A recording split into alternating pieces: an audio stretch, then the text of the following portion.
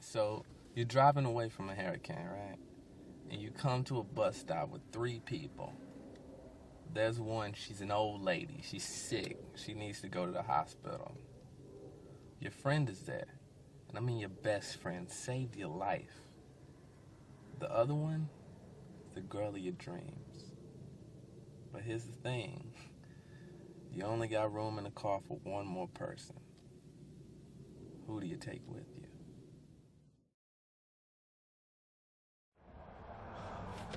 Come on, man. Let's go, man. Come on. Now, hold up. Oh, man, why you stopping on fourth? This is as far as you go, Eddie. Oh, come on, man. Listen to me, Eddie. What? You know those guys you were going to testify against? Those cops? Yeah? Well, I was one of them. You were going to testify against me, too. We did some bad things. I did some bad things. One of those things was using you to do what I should have done. What I should have had the courage to do six years ago. I'm sorry. No, man.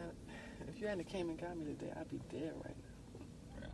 Well, I was supposed to meet you. It was a sign. Save my life, kid. Take care, kid. Thank you. Hey. Make cakes, Eddie the baker.